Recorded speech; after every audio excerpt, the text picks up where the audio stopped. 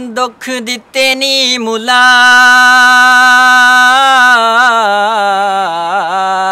ਖੁਤੋਂ ਵਖਰੇ ਬੇਲੀ।